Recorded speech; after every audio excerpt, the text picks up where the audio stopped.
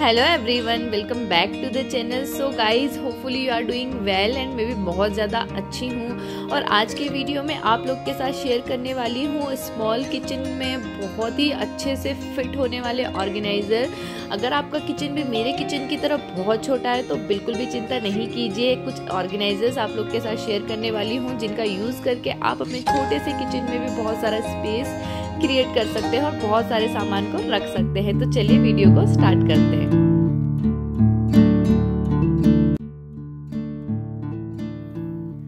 जब भी हम किचन में काम करते हैं तो हमेशा हमारे दिमाग में एक ही बात चलती है कि किस तरह से हम अपने किचन को ऑर्गेनाइज करें, किस तरह से छोटे से किचन को स्पेसियस बनाएँ तो बहुत सारे थॉट्स हमारे दिमाग में चलते रहते हैं। तो आज के वीडियो में आप लोग के साथ ऐसी अमेजिंग से ऑर्गेनाइजर शेयर कर रही हूँ, जिनकी हेल्प से आप अपने छोटे से किचन में बहुत सारा स्पेस बना सकते हैं। लाइक ये रैक आप देख रहे हो, ये फोर टायर रैक है और ये प्लास्टिक का है और क्वालिटी वाइज ये बहुत ज़्यादा अच्छा है। और गाइज़ मैं आपको बता देती हूँ मैं इसे पिछले थ्री ईयर से यूज़ कर रही हूँ। इसकी क्वालिटी में कोई भी इशू नहीं आया है। और इस सा, ये सारे ऑर्गेनाइज़र में आप बहुत सारी चीज़ों को ऑर्गेनाइज कर सकते हैं। जिस चीज़ को आपको रखना है बिल्कुल आप इसमें रख सकते हैं। फिर चाहे वो आपके बर्तन हो या आपके किचन में यूज़ होने वाले सॉस के बॉटल्स ऑयल के कंटेनर्स बहुत सारी चीज़ें आप इसमें रख सकते हैं। क्वालिटी वाइज बहुत ज़्यादा अच्छा है। और सबसे बढ़िया बात गई इसकी है कि छोटे से स्पेस में आ जाता है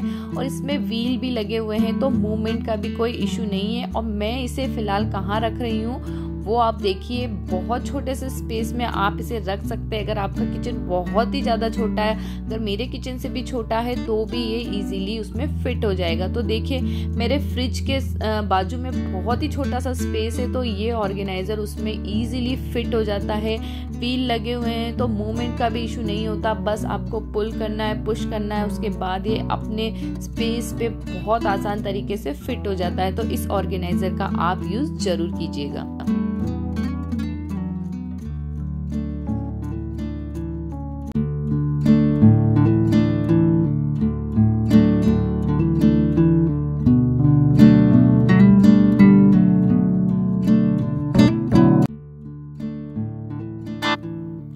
हमारे घर में ऐसे बैग्स तो बहुत ज़्यादा होते हैं। हर किसी के घर में ये सारे बैग बहुत आसानी से मिल जाते हैं। तो अब इनको भी इधर उधर रखने से अच्छा है कि हम एक कोई अच्छा सा ऑर्गेनाइज़र इसके लिए यूज़ करें। तो ये जो बैग ऑर्गेनाइज़र है गाइज़ ये मैंने आइकिया से बाई किया था। आपने मेरे पिछले वीडियोज़ में भी देखा होगा। तो इसमें आप बहुत सारे बैग्स को ऑर्गेनाइज कर सकते हैं। कम से कम आप इसमें हंड्रेड बैग्स को ऑर्गेनाइज कर सकते हैं। अच्छा खासा बड़ा है और इससे बैग को निकालना इतना ज़्यादा आसान है। बस आप ऊपर से बैग डालिए और नीचे से आप पुल करेंगे तो आपको बैग आसानी से इसमें से निकल के आ जाएगा। और आप इसे किचन के किसी भी एरिए में रख दीजिए। बहुत ज़्यादा बड़ा नहीं है। हाइट में ये बड़ा है, लेकिन इसका स्पेस बहुत ज़्यादा कम है। कम स्पेस में भी ये इजीली आ जाता है और बैग्स भी बहुत अच्छे तरीके से ऑर्गेनाइज हो जाते हैं।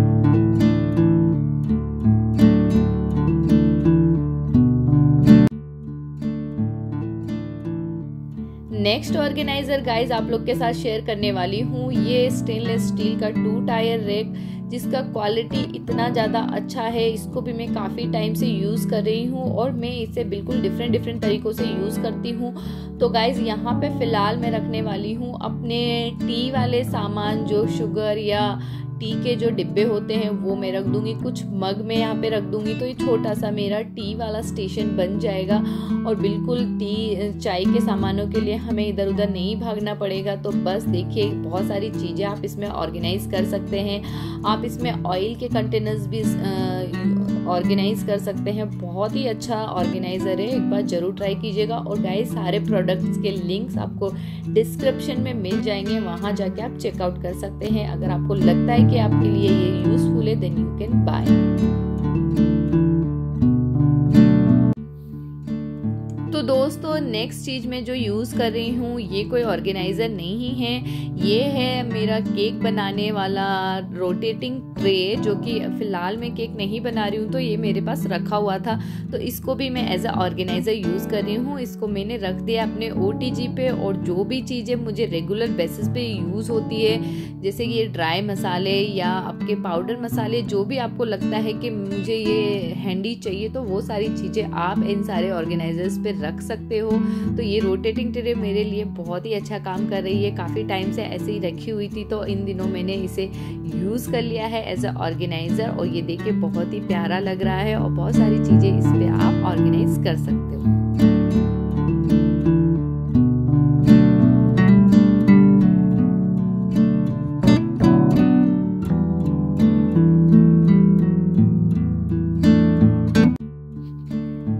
काउंटर टॉप को हमें ऑर्गेनाइज तो करना ही होता है और ब्यूटीफुल भी दिखाना होता है और साथ ही साथ हमें उसे फंक्शनल भी रखना होता है। क्योंकि काउंटर टॉप पे काफ़ी चीज़ें हम अच्छे से रख सकते हैं और काउंटर टॉप ऐसी जगह होती है जहाँ पे चीज़ें हमें इजीली दिख जाती हैं। अगर आपका किचन स्पेसी है तो मैं डेफिनेटली रिकमेंड करूँगी कि कोई भी चीज़ काउंटर टॉप पर ना रखें। लेकिन अगर आप लोग का किचन भी मेरे किचन की तरह छोटा है तो हमें चीज़ें काउंटर टॉप पर भी रखनी पड़ती है। तो उसको ब्यूटीफुल दिखाने के लिए हमें उसे अच्छे से ऑर्गेनाइज करके रखना चाहिए।